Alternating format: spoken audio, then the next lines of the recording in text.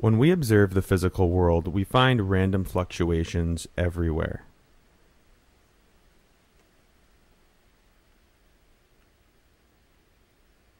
We can generate truly random numbers by measuring random fluctuations known as noise.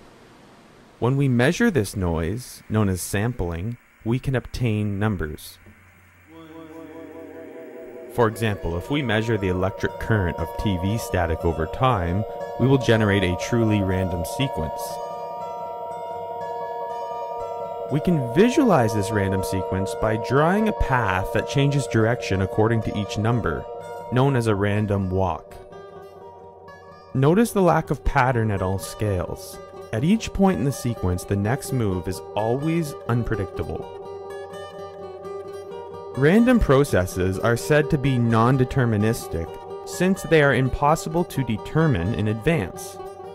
Machines, on the other hand, are deterministic. Their operation is predictable and repeatable. In 1946, John von Neumann was involved in running computations for the military, specifically involved in the design of the hydrogen bomb. Using a computer called the ENIAC, he planned to repeatedly calculate approximations of the processes involved in nuclear fission. However, this required quick access to randomly generated numbers that could be repeated if needed. However, the ENIAC had very limited internal memory. Storing long random sequences was not possible.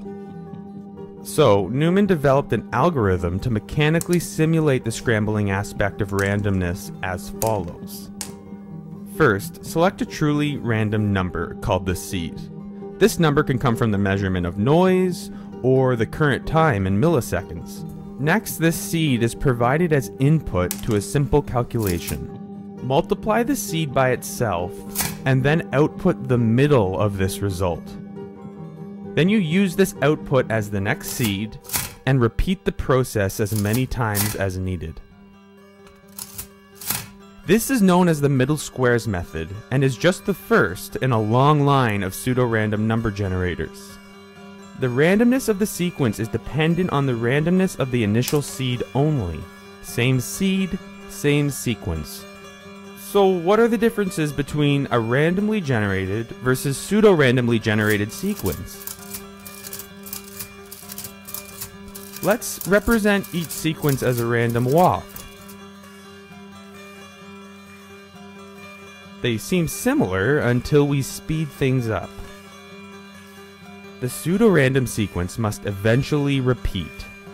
This occurs when the algorithm reaches a seed it has previously used and the cycle repeats. The length before a pseudo-random sequence repeats is called the period. The period is strictly limited by the length of the initial seed. For example, if we use a two-digit seed, then an algorithm can produce at most 100 numbers before reusing a seed and repeating the cycle. A three digit seed can expand past a thousand numbers before repeating its cycle, and a four digit seed can expand past 10,000 numbers before repeating. Though if we use a seed large enough, the sequence can expand into trillions and trillions of digits before repeating. Though the key difference is important. When you generate numbers pseudo-randomly, there are many sequences which cannot occur. For example, if Alice generates a truly random sequence of 20 shifts, it's equivalent to a uniform selection from the stack of all possible sequences of shifts. This stack contains 26 to the power 20 pages, which is astronomical in size. If we stood at the bottom and shined a light upwards, a person at the top would not see the light for around 200 million years.